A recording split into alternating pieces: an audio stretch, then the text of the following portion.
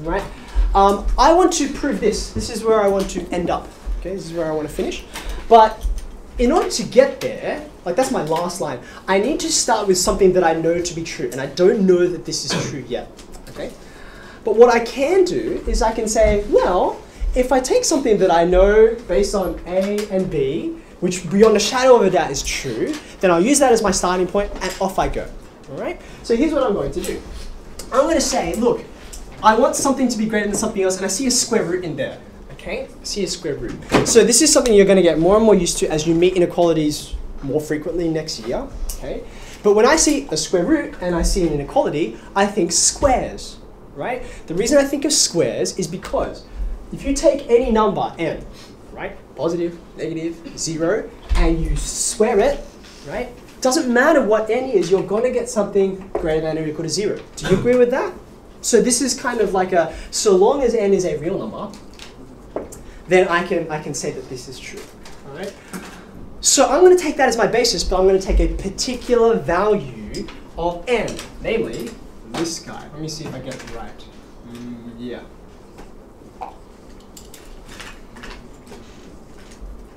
Cross my fingers and see how I go. Okay. Is this what I want?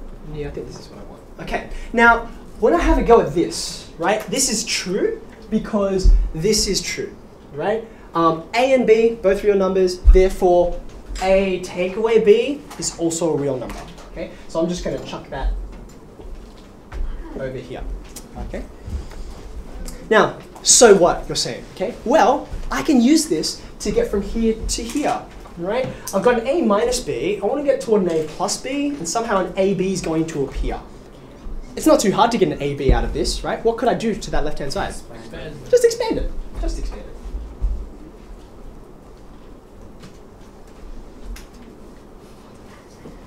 Okay. Now, so far, nothing too groundbreaking has taken place yet. Okay, but that's all right. We're almost there.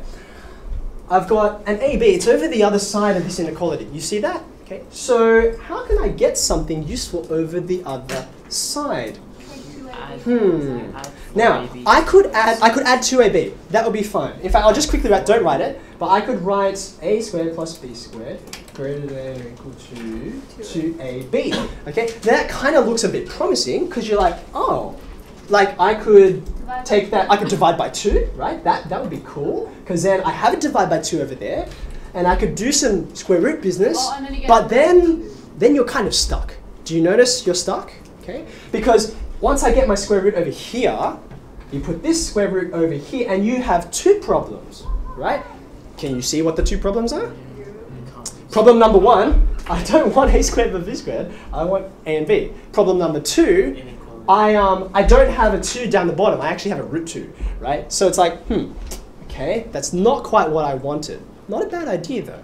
Another suggestion. Can you add add um four AB squared together? Uh, four AB to the both sides. Okay, now our first suggestion was to add 2ab, and we saw it hit a dead end. No problem. What else can we try?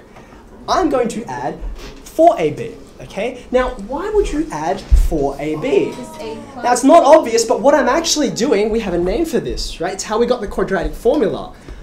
I'm completing this square. Okay, that's what I'm doing over here. Now it's a bit unusual because it's already a square, but I'm going to make it a different square, right? Watch. Let's add 4ab to both sides. We do that? When I add 4ab to this, it'll become not minus, but plus 2ab. Okay, now if I've added 4ab there, I'll add it over the other side. All happy times. Okay?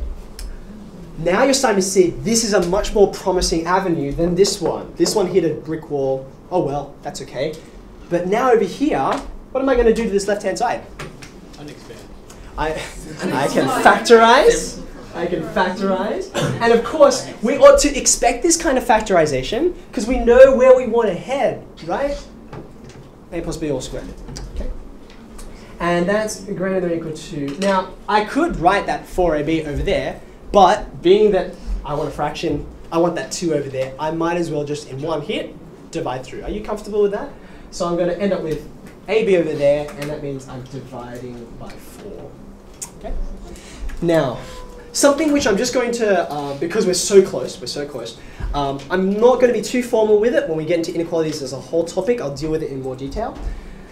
You've got to be really careful with inequalities, right? We already know if you multiply by a negative, you can't just multiply by negative numbers. It changes what's going on, right?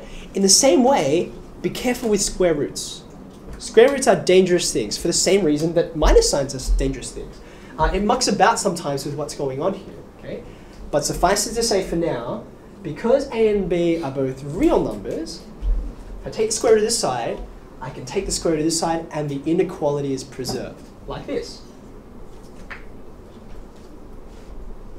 In fact, I'm just there. I don't need to say anything else. That's the square root of both sides. Now, just to confirm, right, how did I, on what basis did I go from here to here? It's not difficult to think of how this is going to work if all you're working with is real numbers. If I say 25 is greater than or equal to 9, at least it was last I checked, right? I can take the square root of both sides, and it's still true. It's all good, okay? Um, so being that that's the case, I can apply a similar kind of logic here. I'll prove it more formally a bit later on, but it's all I need to demonstrate with no appeal to geometry or anything like that. There's our familiar old AMGM inequality.